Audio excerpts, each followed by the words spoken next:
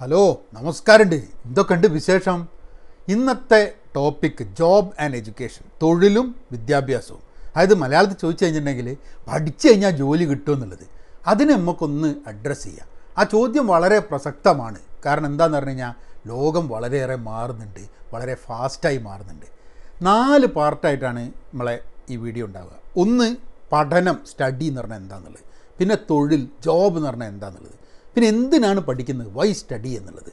പിന്നെ ഒരു പത്ത് പോയിന്റ് ആക്ഷൻ പ്ലാൻ ഈ നാല് സാധനം വെച്ചിട്ട് നമുക്ക് ആ വീഡിയോയിലേക്ക് കിടക്കാം. നിങ്ങൾ സബ്സ്ക്രൈബ് ചെയ്തിട്ടില്ലെങ്കിൽ ചാനൽ സബ്സ്ക്രൈബ് ചെയ്യുക. ഞാൻ കണ്ടില്ല ഇവിടെ വളരെ കളറിൽ സബ്സ്ക്രൈബ് ലൈക്ക് കമന്റ് ഷെയർ എന്നൊക്കെ ഇട്ടിട്ടുണ്ട്. പിന്നെ മുകളിലൊരു ഇമെയിൽ ഉണ്ട് പഹയൻ at pen positive dot com നിങ്ങൾക്ക് എന്തെങ്കിലും കമ്മ്യൂണിക്കേറ്റ് ചെയ്യണമെന്നുണ്ടെങ്കിൽ അതിലിട്ടോളി. ഏഹ് അപ്പം നമുക്ക് കോഴ്സിലേക്ക് കിടക്കാം. സബ്സ്ക്രൈബ് ചെയ്യാൻ മറക്കണ്ട. ഓക്കേ പഠനം സ്റ്റഡി എന്താണ് പഠിക്കുക എന്ന് പറഞ്ഞു കഴിഞ്ഞിട്ടുണ്ടെങ്കിൽ അല്ലെങ്കിൽ എഡ്യൂക്കേഷൻ എന്ന് പറഞ്ഞിട്ടുണ്ടെങ്കിൽ സ്റ്റഡി എന്ന് പറഞ്ഞിട്ടുണ്ടെങ്കിൽ എന്താണ് നിങ്ങളൊക്കെ മനസ്സിലുള്ളൊരു തോട്ട് എന്താണ്? കുറച്ച് പോയിന്റുകൾ നോക്കുക. Education versus learning. അതായത് ഞാൻ ഇടയ്ക്ക് പറയാറുണ്ട് എന്റെ ഫോമൽ എഡ്യൂക്കേഷൻ തീർന്നപ്പോഴാണ് എന്റെ ലേണിംഗ് തുടങ്ങിയത്.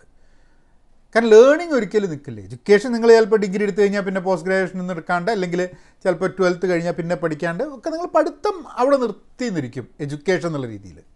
പക്ഷേ നിങ്ങൾ ലേൺ ചെയ്തുകൊണ്ടിരിക്കും നിങ്ങൾ. അങ്ങനെ എന്തെങ്കിലുമൊക്കെ പഠിച്ചുകൊണ്ടിരിക്കുന്നുണ്ടാവും നിങ്ങൾ ജോലി ചെയ്താൽ പഠിക്കുന്നുണ്ടാവും സർട്ടിഫിക്കേഷൻ ചെയ്യുന്നുണ്ടാവും അല്ലാതെ ജീവിതം തന്നെ നിങ്ങൾ കുറേ കാര്യങ്ങൾ പഠിപ്പിക്കുന്നുണ്ടാവും. അപ്പോൾ ഒരു വ്യത്യാസമുണ്ട് അവിടെ. ഒരു ഡിഗ്രി എടുക്കാൻ വേണ്ടി സർട്ടിഫിക്കറ്റ് എടുക്കാൻ വേണ്ടി പഠിക്കുക എന്നുള്ളതും നിങ്ങളുടെ ജീവിതത്തിൽ എവിടെയെങ്കിലുമൊക്കെ എത്താൻ വേണ്ടി നിങ്ങൾ പഠിച്ചുകൊണ്ടിരിക്കുക എന്നുള്ളത്. എഡ്യൂക്കേഷനും ലേണിങ്ങും വ്യത്യസ്തമായിട്ട് കാണേണ്ട ഒരു ആവശ്യമുണ്ട്. ലേണിംഗ് ടു ലേൺ അതായത് നിങ്ങൾ പഠിക്കാൻ വേണ്ടി പഠിക്കണം എന്നുള്ളത്. അതായത് ഡിഗ്രി കിട്ടാൻ പരീക്ഷ പാസ്സാവാൻ ആർക്കോ വേണ്ടിയിട്ട്. ഇങ്ങനെയൊന്നും പഠിച്ചിട്ട് വലിയ കാര്യമല്ല. പഠിക്കാൻ വേണ്ടിയിട്ട് അറിവ് കിട്ടാൻ വേണ്ടിയിട്ട് അതിന് വേണ്ടിയിട്ട് പഠിക്കണം. ഇനി അങ്ങനെ പഠിക്കുന്നില്ല എന്നുണ്ടെങ്കിൽ അതിനു വേണ്ടി എങ്ങനെ പഠിക്കാം എന്നുള്ളതിനെ പറ്റി ആലോചിച്ച് ചിന്തിച്ച് തുടങ്ങേണ്ടിയിരിക്കുന്നു. ലേണിംഗ് ടു ലേൺ ക്വിക്ക്ലി ഇത് വളരെ ആവശ്യമുള്ളൊരു സാധനമാണ് നമ്മളെ ഇന്നത്തെ കാലത്ത്. നിങ്ങൾക്ക് അധികം സമയമൊന്നുമില്ല എന്നുള്ളതാണ് ചില സമയത്ത്. ഒരു സാധനം പഠിച്ചായിട്ട് റെഡിയാവാൻ ഇപ്പം ഞാൻ അമേരിക്കയിൽ വന്ന കാലത്ത് രണ്ടായിരത്തി ഒന്ന് രണ്ടായിരത്തി രണ്ടിൽ അപ്പം എന്റെ കൂടെ ഒരു റൂംമേറ്റ് ഉണ്ടായിരുന്നു. അപ്പോൾ മൂപ്പര് മൂപ്പർക്ക് ഒരു വലിയ പ്രോജക്റ്റ് ഉണ്ട്. മൂപ്പർക്ക് അതിലുള്ള കംപ്ലീറ്റ് സംഭവങ്ങൾ മൂപ്പർക്ക് അറിയില്ല. അപ്പോൾ മൂപ്പർക്ക് മൂപ്പര കമ്പനി ഒരാഴ്ച സമയം കൊടുത്തു ഇത് മുഴുവനായിട്ട് പഠിച്ചിട്ട് ഈ അതിന്റെ സബ്ജക്റ്റ് മാറ്റർ എക്സ്പേർട്ടായിട്ട് പോയിട്ട് കമ്പനിയിൽ കൺസൾട്ടിങ് ചെയ്യണം എന്ന് പറഞ്ഞിട്ട്. ഒരാഴ്ച. ആൾക്കാരൊക്കെ മൂന്നും നാലും അഞ്ചും മാസമൊക്കെ എടുത്തിട്ട് പഠിക്കുന്ന സാധനം ഒരാഴ്ച കൊണ്ട് പഠിക്കാൻ.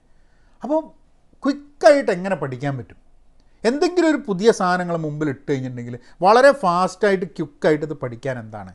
പറഞ്ഞാൽ വളരെ ഡീപ്പായിട്ട് പോവുകയായിരിക്കില്ല. അതിന്റെ മൊത്തമായിട്ട് ആ കാര്യം മനസ്സിലാക്കാനും അതിന്റെ ഒരു ഒരു ലെവൽ ഓഫ് അണ്ടർസ്റ്റാൻഡിങ് വെച്ചിട്ട് മുന്നോട്ട് പോകാൻ. അത് നിങ്ങൾക്കതിനെ യൂസ് ചെയ്യാൻ വേണ്ടിയിട്ട് അത് ഉപയോഗിക്കാൻ വേണ്ടിയിട്ടുള്ളൊരു നോളേജ് ക്രിയേറ്റ് ചെയ്യുന്നത് എങ്ങനെയാണെന്നുള്ളത്.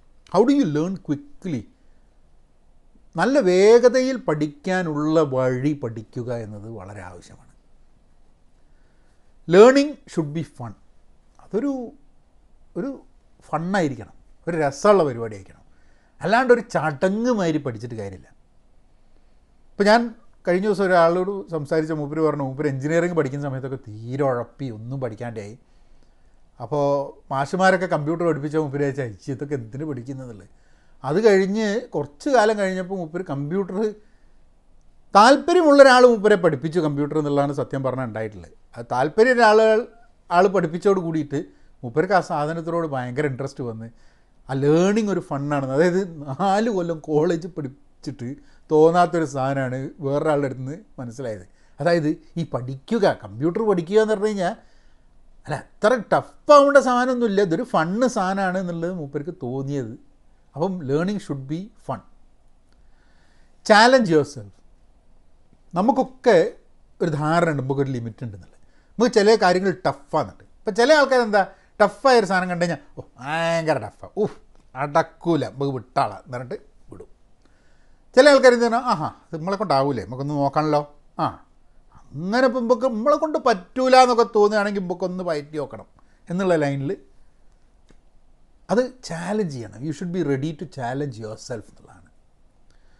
Take up small learning projects അതായത് ലേണിംഗ് പ്രോജക്റ്റ് എന്ന് പറഞ്ഞ സംഭവമുണ്ട്. നിങ്ങൾക്ക് എന്തെങ്കിലും ഒരു സാധനം പഠിക്കുക ഒരു ഭാഷ ഒരു കമ്പ്യൂട്ടർ ലാംഗ്വേജ് അല്ലെങ്കിൽ ഒരു ടെക്നോളജി അല്ലെങ്കിൽ ഒരു ചിത്രം വരയ്ക്കുക അല്ലെങ്കിൽ എന്തെങ്കിലും കാര്യം കാറിന്റെ മെക്കാനിക്സ് എന്തെങ്കിലും സാധനങ്ങൾ എന്തായാലും ഹിസ്റ്ററി യൂറോപ്യൻ ഹിസ്റ്ററി പഠിക്കാൻ തീരുമാനിക്കുക.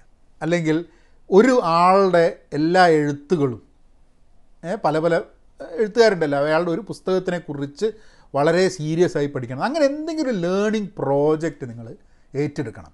അത് എപ്പോഴും നല്ലതാണ്. നമ്മളൊരു ഒരു നമ്മളുടെ ഒരു ലേണിങ്ങിനെയും പറ്റിയിട്ട് പഠിപ്പിനെ പറ്റിയിട്ടുള്ള നമ്മൾ കോൺസെപ്റ്റ് ക്ലിയർ ആവാൻ വേണ്ടിയിട്ട് അങ്ങനെ എന്തെങ്കിലും എടുക്കണം. അത് നിരന്തരം എടുത്തുകൊണ്ടിരിക്കണം എന്നുള്ളതാണ്. നിങ്ങൾ എത്ര വയസ്സുണ്ടെങ്കിലും അങ്ങനെയുള്ള ലേണിംഗ് പ്രോജക്ട്സ് നിങ്ങളുടെ ജീവിതത്തിൽ നിങ്ങൾ എടുക്കണം.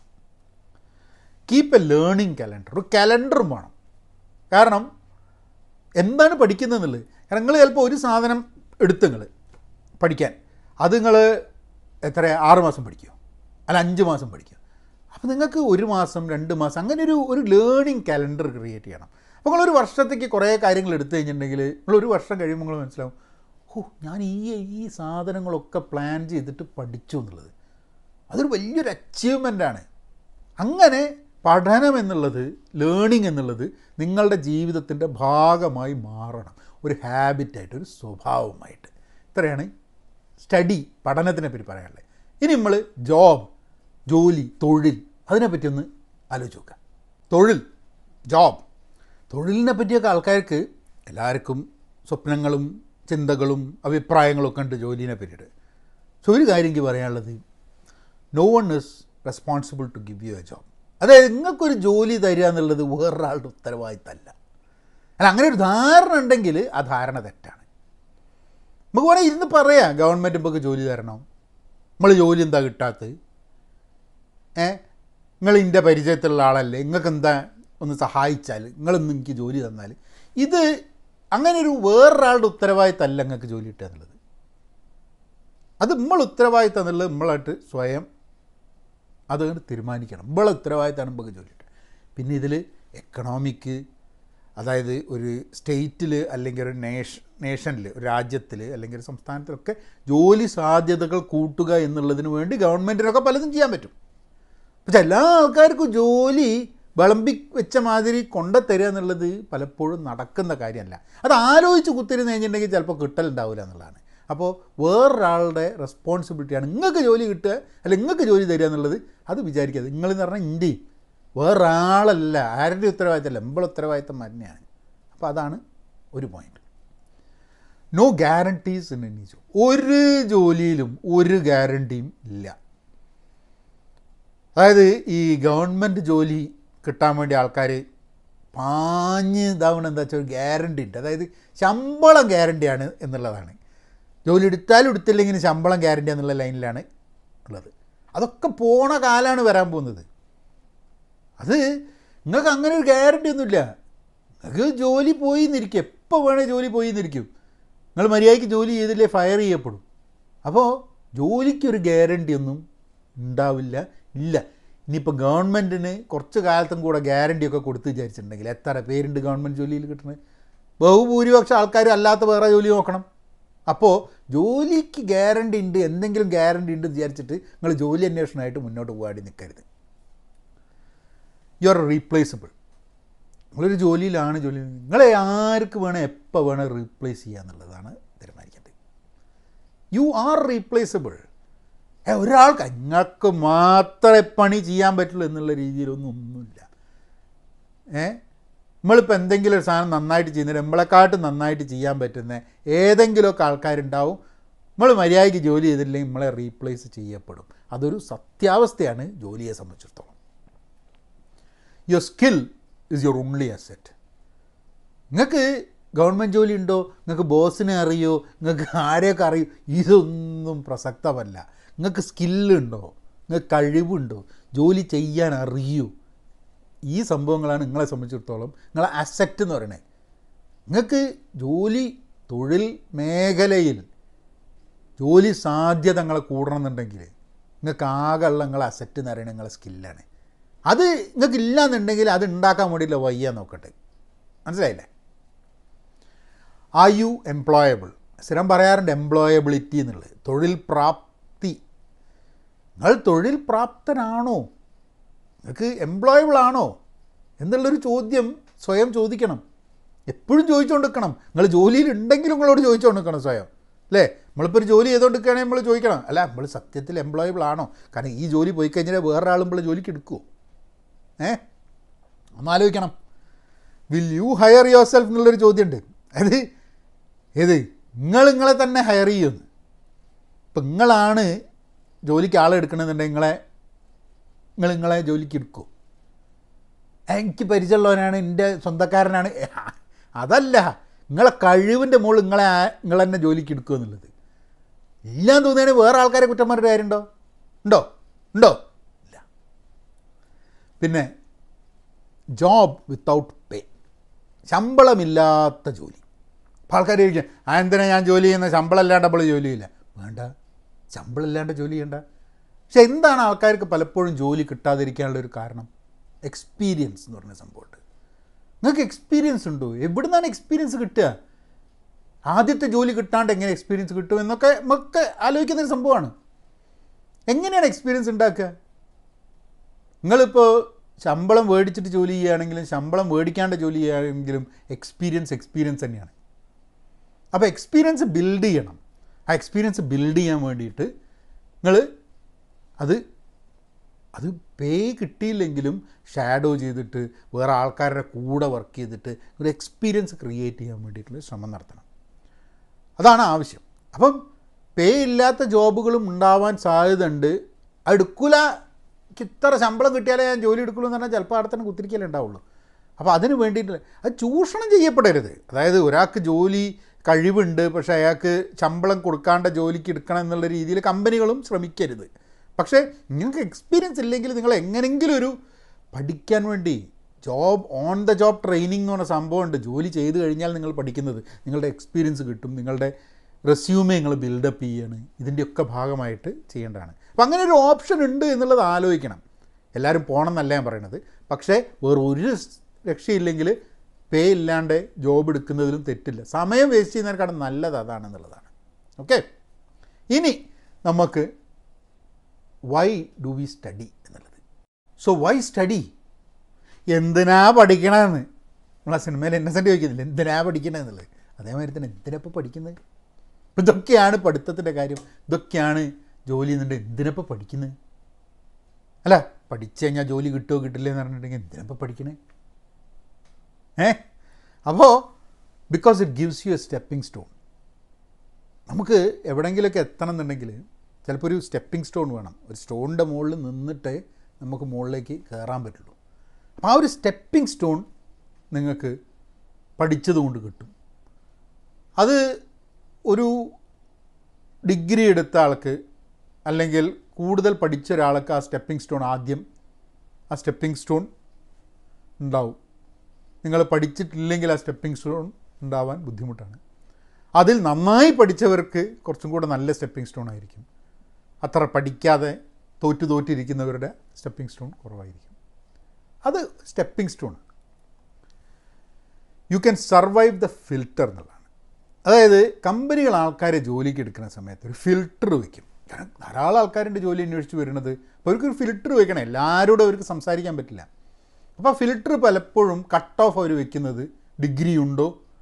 ഡിഗ്രിക്ക് എന്താണ് ഗ്രേഡ് എന്താണ് പഠിച്ചത്? എന്നൊക്കെ വെച്ചിട്ടാണ് അവർ ഒരു കട്ട് ഓഫ് വയ്ക്കുക അപ്പോൾ നിങ്ങൾ നല്ല രീതിയിൽ പഠിച്ച് നിങ്ങൾക്കത് കിട്ടി മുന്നോട്ട് പോവുകയാണെങ്കിൽ നിങ്ങൾക്ക് ആ ഫിൽട്ടർ ബ്രേക്ക് ചെയ്തിട്ട് ഒരു എന്താ പറയുക you could get the first chance ഒരു ചാൻസ് കിട്ടും. ആദ്യം ചാൻസ് കിട്ടാൻ കുറച്ച് എളുപ്പമായിരിക്കും ഒരു പഠിച്ച ആൾ ഒരു പഠിക്കാത്ത ആൾ പഠിച്ച ആൾക്ക് ആ ചാൻസ് കിട്ടാൻ സാധ്യതകൾ കൂടും എന്നുള്ള ഒരു ബെനിഫിറ്റ് ഉണ്ട് പഠിച്ചു കഴിഞ്ഞിട്ടുണ്ടെങ്കിൽ not just a degree but a skill ഇനിയിപ്പോൾ ഡിഗ്രി മാത്രം ഉണ്ടായതുകൊണ്ട് കാര്യമില്ല. കഴിവില്ലെങ്കിൽ.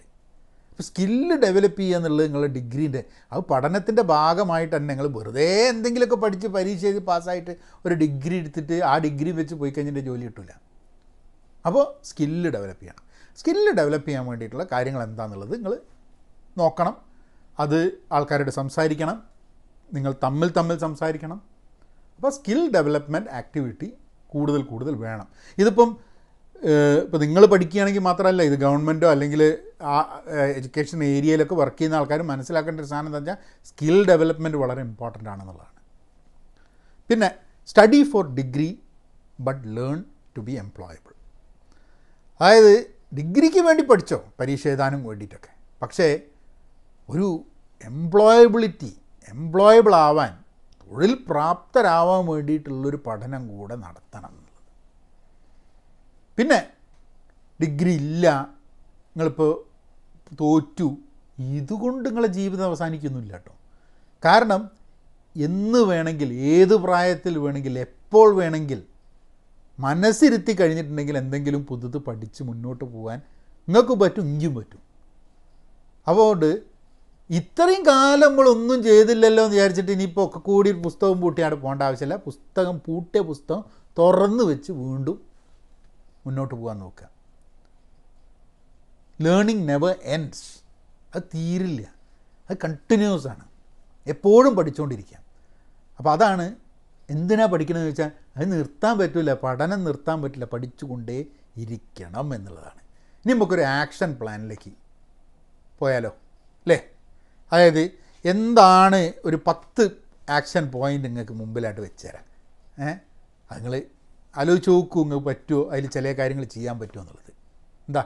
ഒരു ടെൻ പോയിന്റ് ആക്ഷൻ പ്ലാൻ ആദ്യത്തേത് ക്രിയേറ്റ് എ സ്ട്രോങ് ബേസ് അതായത് നിങ്ങളിപ്പം എന്തെങ്കിലും ഒരു ഇതിന് പഠിക്കുക ഫിസിക്സ് പഠിക്കുക അല്ലെങ്കിൽ എക്കണോമിക്സ് പഠിക്കുകയാണ് എഞ്ചിനീയറിങ്ങിന് ഏതെങ്കിലും കമ്പ്യൂട്ടർ സയൻസോ അല്ലെങ്കിൽ മെക്കാനിക്കൽ എന്തെങ്കിലും പഠിക്കുകയാണ്. അപ്പോൾ നിങ്ങൾ ആ നാല് വർഷം മൂന്ന് വർഷത്തെയോ കോഴ്സ് കഴിഞ്ഞിട്ടുണ്ടെങ്കിൽ ഒരു സ്ട്രോങ് ബേസ് ക്രിയേറ്റ് ചെയ്യണം.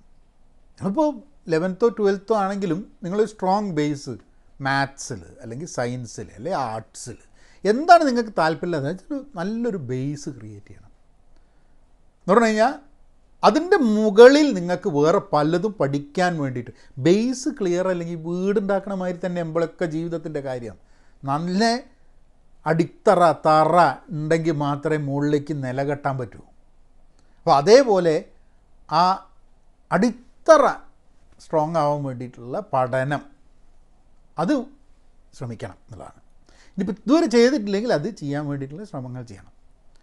Learn how to crack test അപ്പോൾ നമ്മളുടെ പരീക്ഷ എഴുതാൻ എനിക്ക് തീരെ ഇഷ്ടമല്ല. പരീക്ഷകളേ എനിക്കിഷ്ടമല്ല പക്ഷെ നമുക്ക് രക്ഷപ്പെടാൻ പറ്റില്ല കാരണം നമ്മളെ സമൂഹത്തിൽ പരീക്ഷ എഴുതുക കുട്ടികളെ കൊണ്ട് പരീക്ഷ എഴുതിപ്പിക്കുക അത് പാസ്സാക്കിക്കുക അതിന്റെ മാർക്ക് കാണിക്കുക അത് എന്നിട്ട് അച്ഛനും അമ്മമാർക്കും അതിന്റെ മുകളിൽ ഭയങ്കര ഇൻട്രസ്റ്റ് ഇതാണ് നമ്മളെ സമൂഹത്തിന്റെ ഒരു സ്ഥിതി.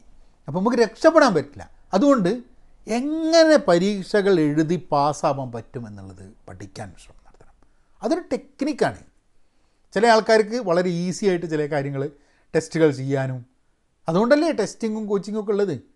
അപ്പോൾ നിങ്ങൾ ടെസ്റ്റുകൾ എങ്ങനെ പാസ്സാവാം എങ്ങനെ ക്രാക്ക് ചെയ്യാം എന്നുള്ളത്. കാരണം ഇന്നത്തെ സ്ഥിതിയിൽ നമ്മൾ എത്ര തന്നെ ഈ ടെസ്റ്റിംഗ് ഒന്നും നന്നല്ല എന്ന് പറഞ്ഞാലും ടെസ്റ്റൊക്കെ വെച്ചിട്ട് തന്നെയാണ് ഇന്നും പല കാര്യങ്ങളും നടക്കുന്നത്. ക്വിസും ടെസ്റ്റും അപ്പോൾ അതിന് വേണ്ടിയിട്ട് എങ്ങനെ പഠിക്കുമെന്നുള്ളത് നിങ്ങൾ അതിന് വേണ്ടിയിട്ടുള്ളൊരു ഒരു ശ്രമം നടത്തണം. ഹൗ ടു ക്രാക്ക് ടെസ്റ്റ് പിന്നെ ഗെറ്റ് ഹെൽപ്പ് സഹായം ചോദിക്കാം അങ്ങനെ ഊതി വീർപ്പിച്ച ഈഗോന്റെ ബലൂണൊക്കെ വെച്ചിട്ട് "ഏ, ആരോടെയും സഹായം ചോദിച്ചു കഴിഞ്ഞിട്ടുണ്ടെങ്കിൽ ഞാൻ കൊച്ചായി പോവൂ എന്നുള്ള ഫീലിംഗ് ഒക്കെ വെച്ചിരുന്ന് കഴിഞ്ഞിട്ടുണ്ടെങ്കിൽ ജീവിതത്തിൽ മുന്നോട്ട് പോകില്ല കേട്ടോ ജീവിതത്തിൽ മുന്നോട്ട് പോകണമെന്നുണ്ടെങ്കിൽ നമ്മളെ ഈ ദുരഭിമാനവും ഈഗും ഊതി വീർപ്പിച്ച ബലൂണൊക്കെ സൂചി കൊണ്ട് കുത്തി പൊട്ടിച്ചിട്ട് താഴേക്ക് ഇറങ്ങി വന്നിട്ട് ആൾക്കാരോട് സഹായം ചോദിക്കണം.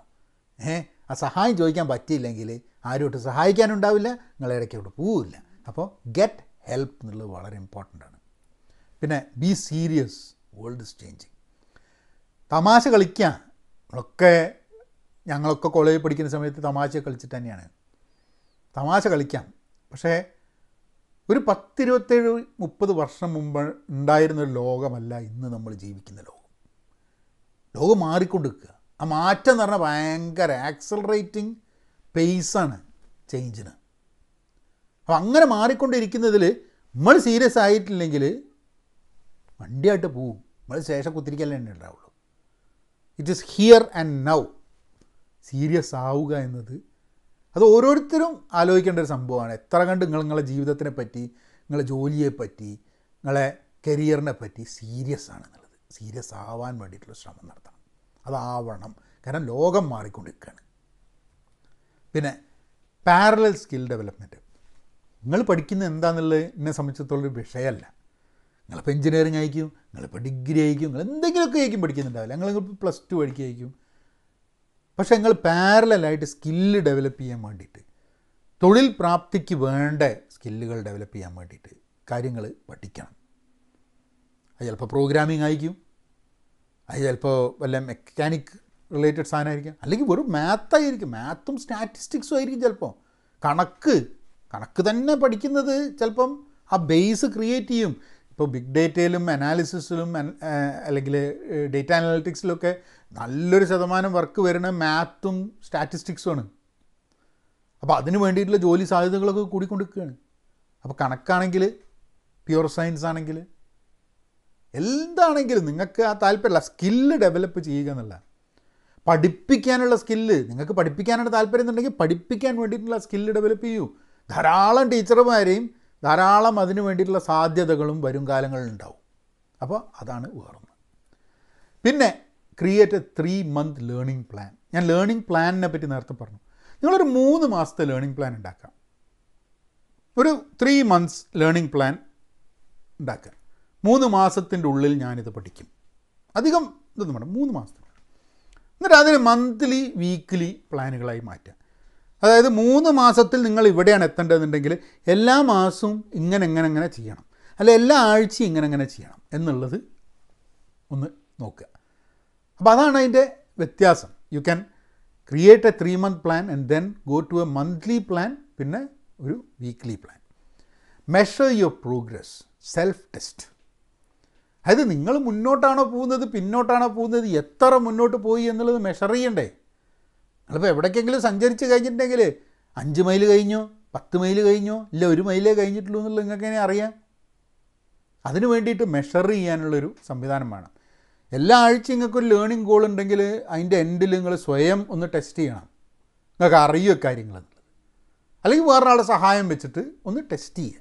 മെഷർ യുവർ പ്രോഗ്രസ് മെഷർ ചെയ്യാണ്ട് ഒരു സാധനം നടക്കില്ല വെറുതെ ഇങ്ങനെ ഒരു വഴിക്കേട് പോയിട്ട് വലിയ കാര്യമൊന്നുമില്ല.